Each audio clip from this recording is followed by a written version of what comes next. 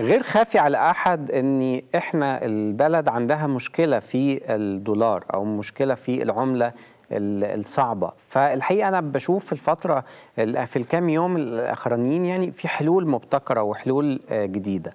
منها حل إني بيع العقارات لغير المصريين. كان من زمان بنبيع عقارات لغير المصريين لكن بتبقى محدودة في نطاق عقار أو اتنين أو يعني مسموح بعدد محدد من العقارات لكن النهاردة بدون حد أقصى ممكن الأجنبي يشتري أرض أو يشتري مبنى أو يشتري أو يشتري. طبعا ده هيجلب دولار كبير للبلد. لكن في بعض الأسئلة برضو اللي بتدور في أذهان الناس لازم نسألها. هل في مناطق في مصر يعني هيبقى غير مسموح بيها لتملك الأجانب فيها عقار أو أرض عشان ده برضو يعني برضو آه، يعني فكرة بتيجي في دماغ بعض الناس يقول لك طب أنت هتروح لسينا وتقول لي يجي الأجنبي يقيس ويمطر ويدفع؟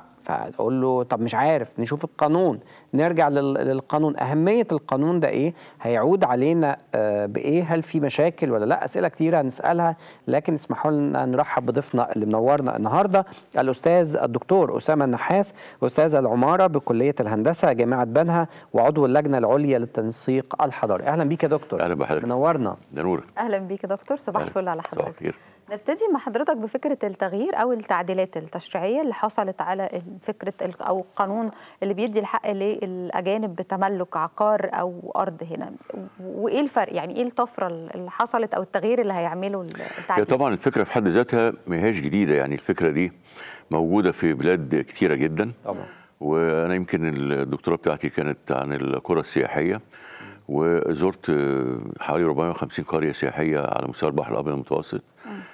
لما ابص ألاقي مثلا إسبانيا على سبيل المثال فاتحة الأسواق بتاعتها آه، للانجليز فبتعمل لهم وخاصة ال- ال- الإنجليز اللي هم كبار في السن بتعمل لهم المنتجعات اللي موجودة بتملكهم والمنتجعات دي يمكن آه، رياضة الجولف آه، موجودة بشكل آه، يعني واضح فيها.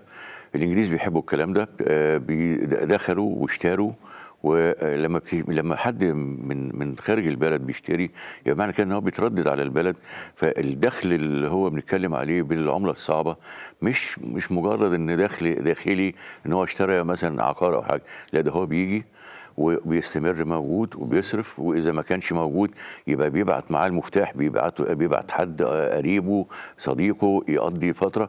إذا الدخل بيبقى بيتعاظم مش موضوع ان أنا ببيع وحدة سكنية. مرة آه. أو وحدة مثلا مصيف أو أو أو يعني شاليه.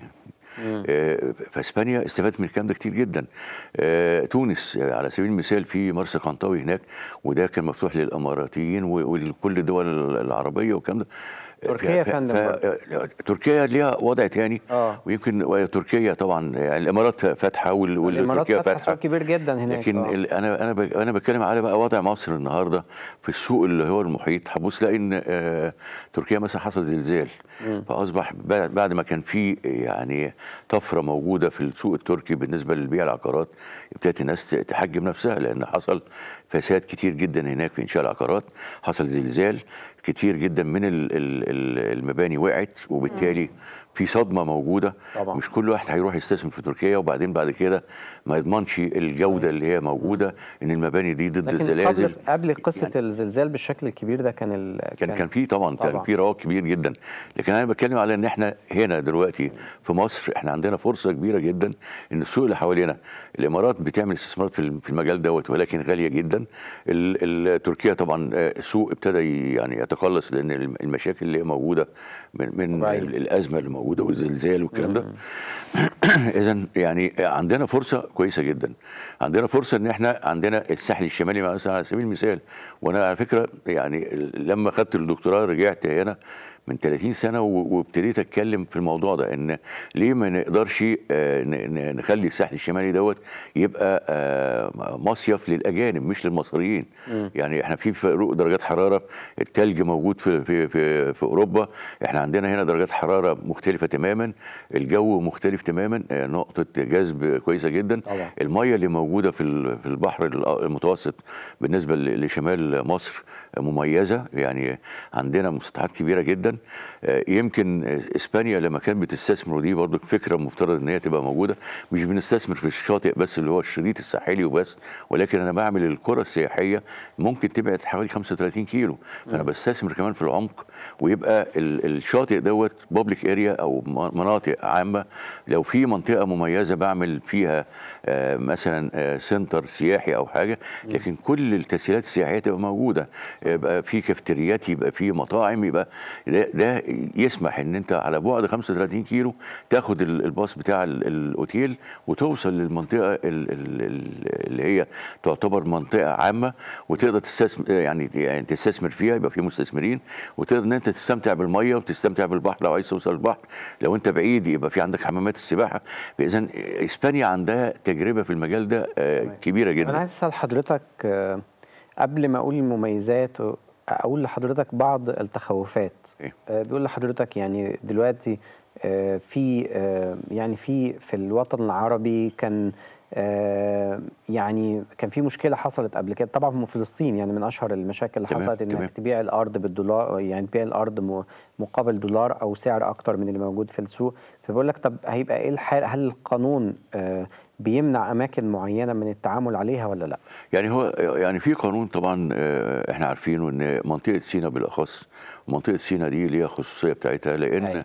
يعني آه، المدخل الشرقي بتاع مصر وكل الغزوات بتاعتك كان بيجي لك من المنطقة دي طبعا. يعني ال ال كل الغزوات اللي جت من ال- التتار من آه، ال ال الف ال- الفرس يعني كل الغزوات جات لك من المنطقة الشرقية.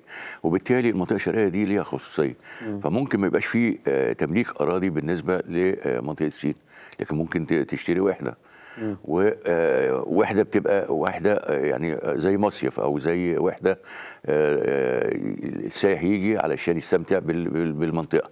ولكن نطلع سينا بره المنطقة ديت ونتكلم على الساحل يعني الشمالي. خاصة فيما يتعلق أو أرض. آه آه خاصة فيما الأرض يعني. يتعلق انت ممكن تملك الوحدة وبدون أرض.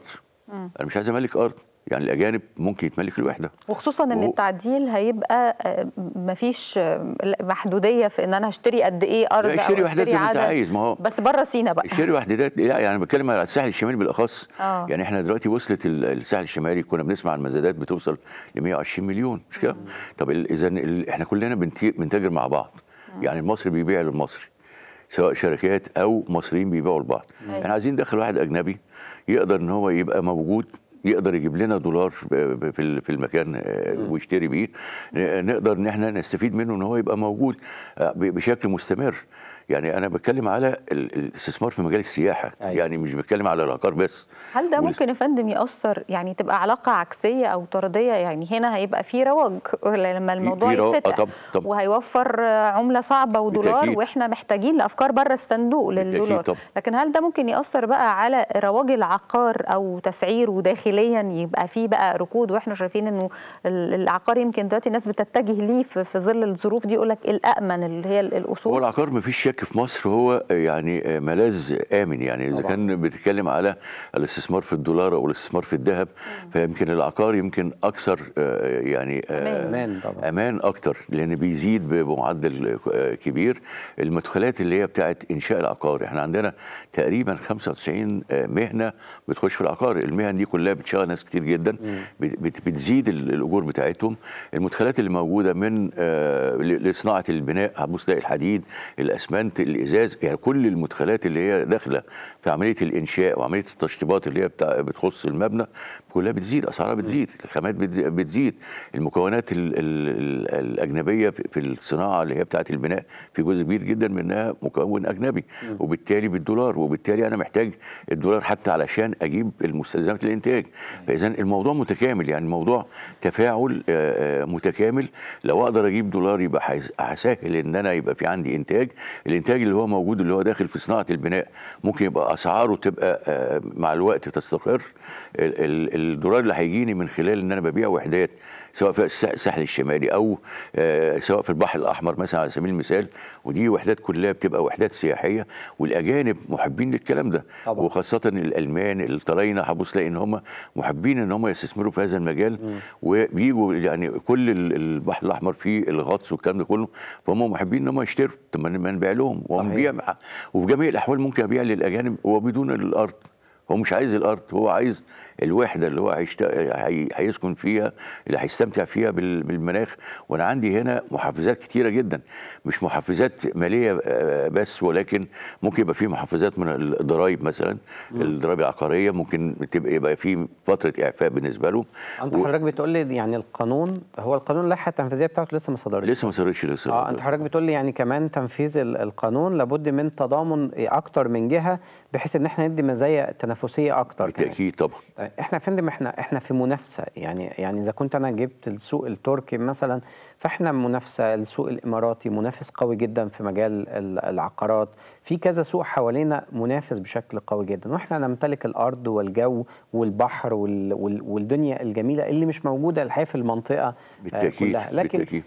آم، هل إحنا قلالات الحيلة في إن إحنا نستثمر ما حبانا الله بيه من من بحر ومن أرض ومن من جو الحاجات الحلوة هو ما احناش ولا حيله ولا حاجة ولكن يعني هي محتاجة آه، توعية يعني توعية آه، كاملة يعني لما نيجي نتكلم على سايح هيجي من بره وهيشتري هنا هو عايز يستمتع بال بال بالمكان عايز يستمتع بالمكان يعني؟ يعني ابتداء من سواق التاكسي اللي هو بيقابلك في المطار اذا في عندك مشاكل كتيرة جدا لابد إنها تتحل لابد يبقى في توعية. آه، آه، الضوابط اللي هي تتحط للمنظومة كلها متكاملة ممكن هي تبقى مفيدة.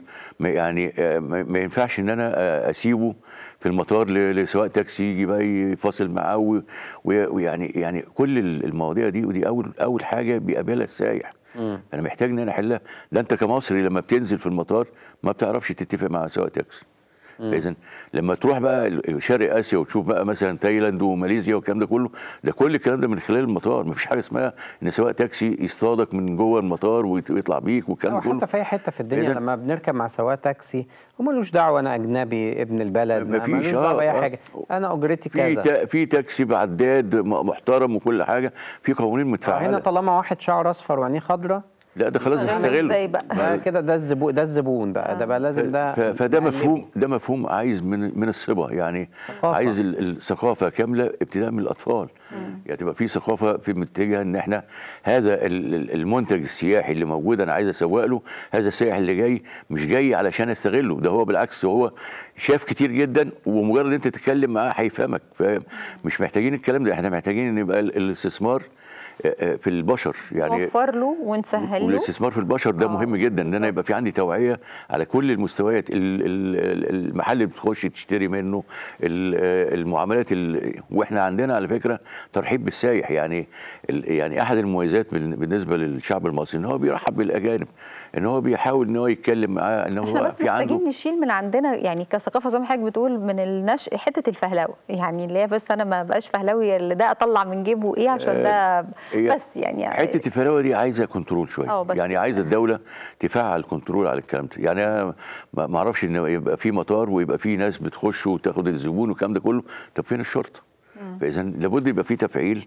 وإذا كان في تفعيل لل- للاتجاه دوت هتبص تلاقي خلاص الدنيا هتتصلح. مجرد إن ألاقي إن في control يبقى الدنيا هتبقى مظبوطة. بعض الأسئلة اللي الناس بت بتسألها آه، ما أعرفش يعني القانون تم يعني ولا دي هنستنى فيها اللائحه التنفيذيه هل ال- البيع نفسه هيبقى معروض بالدولار من قبل الدولة؟ وهل مصرح للناس مالكي الأراضي إن هم يبيعوا بالدولار ولا آه لأ ولا هيبقى الجنيه مقترن بالدولار فيتحاسب على سعر البنك فندخل في لخبطة كده لا هي ال- ال- المشكلة بتاعت السعر دي طبعا مشكلة مهمة جدا طبعاً. اي حد عايز يجي يستثمر عندك هنا طب هيستثمر ب- الدولار بكام فاذا يمكن الفترة اللي جاية وإحنا يمكن الكلام كله على آه، في تعويم جاي آه، في الفترة اللي جاية أيوة. أو هكذا بيتقال التعويم دوت يمكن يعمل استقرار وده مهم جدا إن طبعاً. أنت ما تجيش بلد وتلاقي في عندك سعرين بالنسبة للدولار. سعر سوق سودا وسعر رسمي. انت انت عايز يبقى في تقارب حتى ما يبقاش الفرق الكبير اللي إحنا بنسمع عنه. ال- الفرق لو هو محدود يبقى مقبول. لو ما فيش فرق ويبقى ال- الدنيا تبقى منتظمة بالشكل ده يبقى أفضل كتير جدا. يعني أنا أذكر مثلا لما رحت تونس في فترة من الفترات فعايز أغير عملة. فبقول والله طب ال- التغيير العملة ده هنغير إزاي؟ وفي بقى سوق سودا وبتاع. قال ما فيش سوق سودا. ده أنت لو عايز تغير مني يبقى هتغير أقل من البنك لأن أنا هاخد الفلوس دي هسلمها للبنك. أيوه. فاذا عدم وجود سوق سودا هتبص تلاقي يعني ده مهم جدا. والتعويم وال- وإن يبقى ال- ال- الكلام على على سعر موحد بالنسبة للدولار ده هيفيد الموضوع هيبقى نقطة جذب بالنسبة لي مهمة جدا.